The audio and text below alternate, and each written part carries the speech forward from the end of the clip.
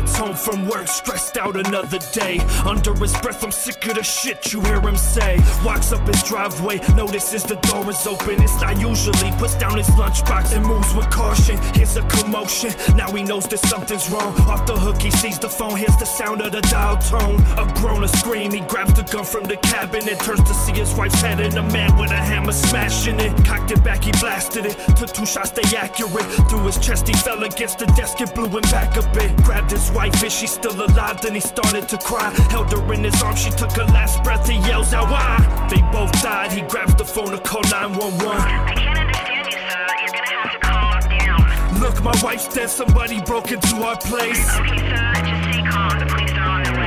Murders, deception, burglars, confessions, weapons, accidents, lies, death, and tragic shit. You know things aren't always as you see them, right? You know things aren't always as they seem it right. Now it's emotional, he's having trouble dealing with it. A hero in the paper getting praise, he's feeling it. Killed a man he found murdering his wife, but if they found the real story, it would devastate his life. It's growing heavy on his mind because he knows what happened. Plays on repeat in his head, the scene in deadly actions. Poking at his conscience, he sees the hammer smacking, blood splashing, droplets on the wall. She falls, her skull is smashed in. Will he get away with committing a heinous crime, or have they figured out the plot and he with jail time? Investigating clues now, it's on the news now. Trying to be calm inside, but now they talking homicide. Should he run to hide? Then they'll know he's guilty. Hot showers to wash it off, but he comes out feeling filthy. Nervous, there's questions, holes in his events are phony. They bring him in again. You need to tell the real story.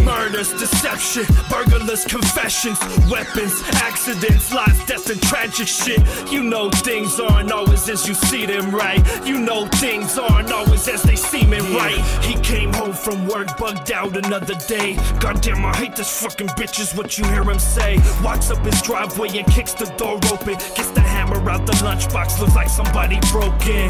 Yanked the and he slammed the door. The homeless man he offered a job arrives at four. His wife comes into the room because she heard a sound. Then he bashes her over the head, she falls and hits the ground. Pounds a few more times, then he hears a noise. Hello? Anybody home? It's the bum's voice. He says, I'm back here. Gets the gun from the cabinet. The man walks in the room, he clicks it back and starts blasting it. Two shots, took the life Then he got the murder weapon, placed the hammer nice in his hand. Precise was his plan. He thought it would never go to trial. Turned on the tears, picked up the phone and started to dial.